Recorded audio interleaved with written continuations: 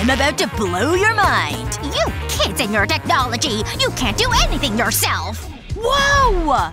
Look at it go! I don't have to do a thing. Pretty clever, huh? And it's all done. A cute little zebra. That's amazing! Ha! I'm old school.